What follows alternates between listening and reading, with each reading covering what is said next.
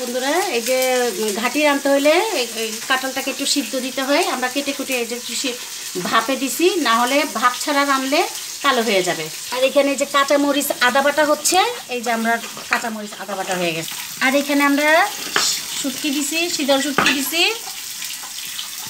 রসুন থেতলা দিছি, আর চার পাঁচ টুকরা মাছ লাগবে। মাছ, ভাজা মাছ গুঁড়া করে দিছি। শীতলটাও আমি দেখাই দিছি। আর এখানে আমরা গুঁড়া মরিচ দিব না, খালি শুধু একটু হালকা হলুদ দিব। ঘাটিতে আমরা ঘাটি রানবো শুটকি দিয়ে, কিন্তু শুটকির মধ্যে ভাজা মাছ গুঁড়া করে দিতে হবে।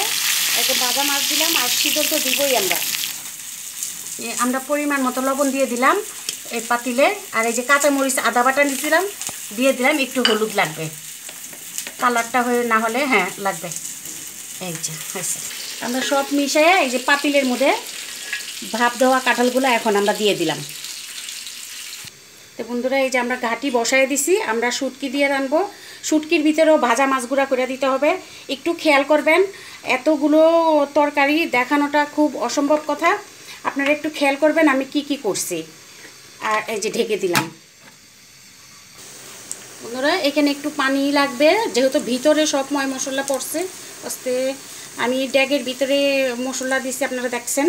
এখানে মরিচের গুঁড়া চলবে না, শুধু কাঁচা মরিচ, শুটকি, মাছ ভাজা, রসুন, ধইনা পাতা। বন্ধুরা, এত বড় পাতিল এটা চুলায় নাড়া যাচ্ছে না, একটু শুটকি কম হয়েছে আর একটু লাগবে। আর আমরা দিব এই যে এখানে বোম্বাই মরিচ।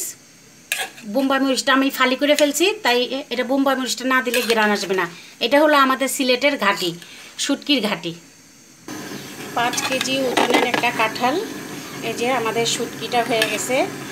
আর মানে ঘাটিটা, এই ঘাটির জন্য সিলেটি গান তো একটা হইতেই পারে। আইলারে নয়া দামান, আসমানের তেরা, বিছানা বিছাইয়া দিলাম সাইলানের নেরা পর, দামান ব দামান ব। হে বো, দামান খাও রে খতা খাও রে বাটার ফান। যাইবার কথা খাও যদি খাইটা রাখ মুসান দামানব দামানব হয়েছে সিলেটি? হ, সিলেটি গান হয়ে গেছে আমার। আমার সিলেটি কাঁঠালটাও হয়ে গেছে। যদি আমার এই কাঁঠাল ঘাটিটা যদি ভালো লাগে, তাহলে অবশ্যই আমাকে একটা সাবস্ক্রাইব করবেন আমার চ্যানেলটাকে। আর ভালো মন্দ আপনারা কমেন্ট বক্সে জানাবেন। তো রাখি বন্ধুরা, খুদা হাফেজ।